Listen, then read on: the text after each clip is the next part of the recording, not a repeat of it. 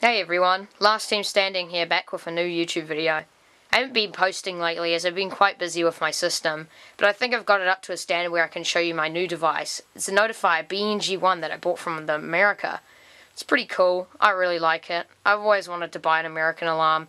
However, I have found some issues with these devices as, well, in America, most panels you just short out the connection to um, set off the alarm. Otherwise, uh, you send a resistance down the line.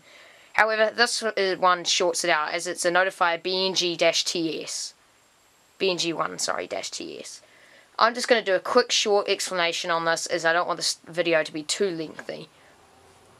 Getting right into pulling the alarm right now as I have my other camera set up by my panel and my Strobel hooked up. I've got Fire Alarm NZ with me, but I have him muted at the moment as uh, he didn't really want to be in the video. Also got a video hopefully coming out tomorrow of me and him working on his system.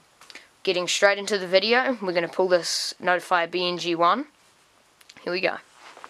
And you just pull this down and a latch comes down and the case pops off. There's a little switch down here-ish.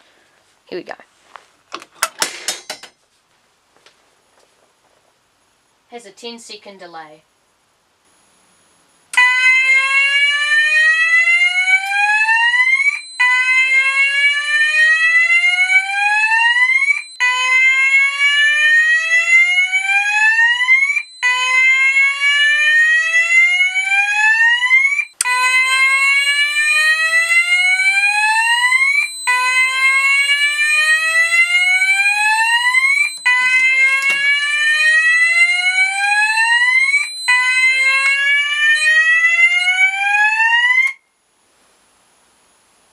Now that we've acknowledged the alarm, we can now silence the panel and reset the device. As it's through a loop responder, as this is my addressable panel, I have to quickly go reset the pull station.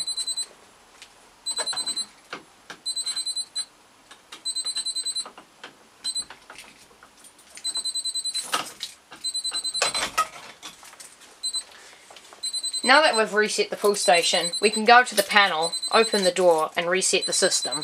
Since we've already pre-reset the system, we can just disable the silence alarms. System back to normal. Hope you guys enjoyed this quick video. I'll be making a video of Kynan. He's with me, but he's kind of muted at the moment. You want to say hi, Kynan?